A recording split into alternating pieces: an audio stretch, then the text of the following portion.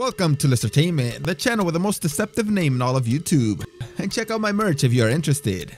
A lot of people criticize boxers or MMA fighters for quitting during a fight because they see them as cowards. These people are supposed to be the toughest people in the world and they should go down via a knockout or last the entire fight. But sometimes quitting is the best thing you can do in order to be able to fight another day. The list today will talk about 5 fighters who had reached their limit and wanted to walk away from the fight, but their trainers did not want to allow them to do it. They either forced them to continue or motivated them enough to be able to stay in the fight, and most of the time it had devastating results. If you like this video, please give it a like and subscribe down below. Also be sure to turn on those notifications. And finally, let me know in the comments, what do you think of these coaches who don't allow their fighters to drop out of the fight?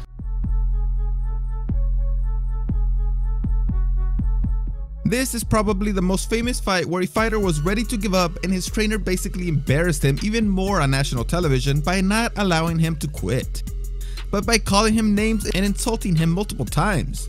This is the fight in 2000 between Mike Tyson and Andrew Golota. Mike Tyson was able to put down Golota with the right hand at the end of the first round.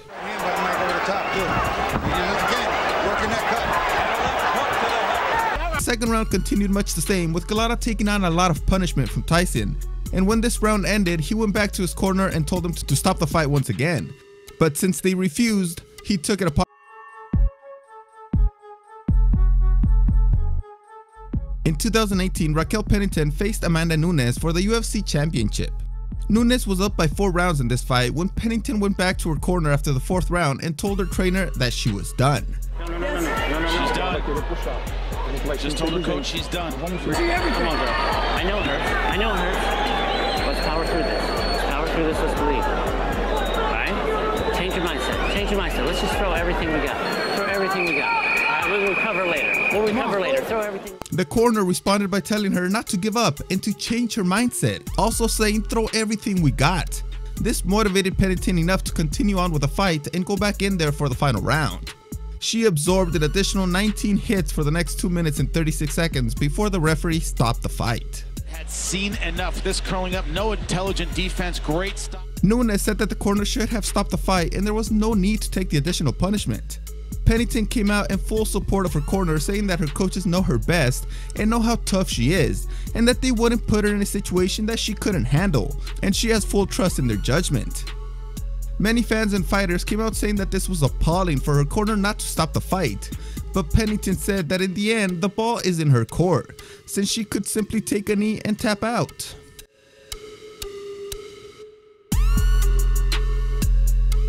In this fight, we can see what the terrible consequences can be if a corner or trainer doesn't listen to the fighter when he says he is done. Back in 2013, Magomed Abdusalamov was fighting Mike Perez in the heavyweight division. Abdusalamov was coming into the fight with 18 knockouts in his 18 professional fights, so when he told his corner that he was done, they didn't listen because of the so-called puncher's chance. There are various contradicting reports whether he actually asked for the fight to be stopped, but there were multiple occasions when his trainer asked questions like, are you okay, how do you feel? But Abdusalamov never answered those questions. His nose was broken in the first round of the fight and this is what started all the trouble. McLean out in has been answered. It's yes, he's much more aggressive. Good left hook by Perez, and again he wobbles out to Slama. I don't think that's a product of Abel Sanchez to uh, go to the bottom of power punch like after. And in the first round, Mike Perez threw punches. Perez very significant. Abdusalamov repeatedly complained about the damage to his face and some members of his corner wanted to stop the fight, but somebody had the ultimate decision and they did not pull the trigger. The result from this fight was terrible. Abdusalamov finished the fight taking a huge beating, but was taken to the hospital after the fight where he was put into a coma after having a blood clot removed from his brain. Later that week, he suffered a stroke and presently his right side is completely paralyzed and has a ton of other issues that resulted from this fight.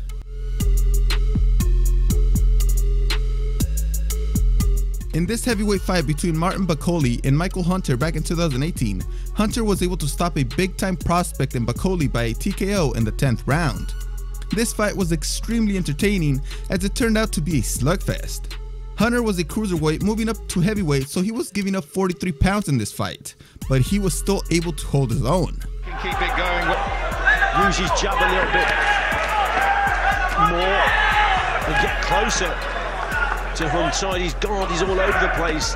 But Bakole unfortunately injured his shoulder after the 8th round and was ready to quit the fight since he was in a lot of pain. His trainer, Billy Nelson, refused to let him quit and put him back into the fight.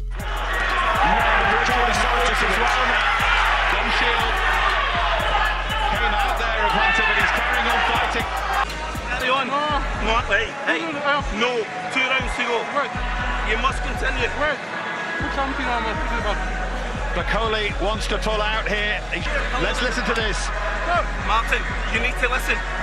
You need to listen. You're just worked on the jab. We'll jab his head off. Please, you need to work. Martin, you, you're no fucking quitting you.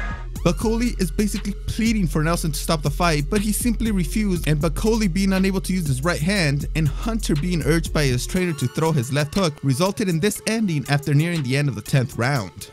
And Hunter now, oh, quality shots. This is stunning from Hunter. He said, he said leg stoppage. Is he going to get the leg stoppage? Surely, Bill Edwards, surely. Billy Nelson received a ton of hate on social media after this, since Bakole was completely done after the 8th round and was completely unnecessary for him to take the beating that he took in the last two rounds. It just looks so bad that your fighter is asking for your help, and instead of pulling him out, you throw him out to the wolves. For what? I just don't know what Billy was thinking.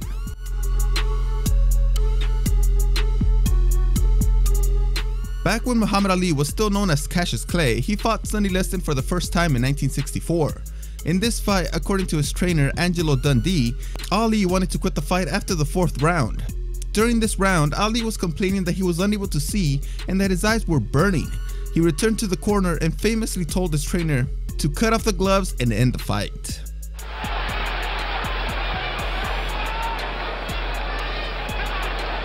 There he is. And he's still talking and he's still clowning. And I should think still predicting. He said eight rounds. Dundee was a great trainer and knew that it would take years for Ali to get back to this point and have the opportunity at the title. So he washed out his eyes and pushed Ali back into the ring for the fifth round. Still unable to see, Ali just got on his bike and started to avoid Liston, and Liston was unable or unwilling to hit him. And he's blinking and he's got something in his eyes. Don't give him any mercy. And Clay's still squinting. Then in the sixth round, Ali was all better and started to land on Liston. And after this round is where the unthinkable happened when Liston quit on his stool in between rounds. I think that we, we have him going winning now. They might be stopping it. That might be all, ladies and gentlemen. A lot of people say that this fight was fixed by Liston, that maybe he threw the fight since he placed a bet on himself to lose. But he could make more money from being champion, so maybe the mob got to him. It's a really weird theory with plenty of holes, since others say that Liston had something on his gloves that blinded Ali, but then this would negate the stories of him throwing the fight. No matter what happened, Ali was ready to give in, but his trainer refused to allow him to quit, and this refusal and push to continue got Ali the championship belt. It's really hard to judge the trainers in most of these cases because they have a relationship with the fighters that we just don't understand.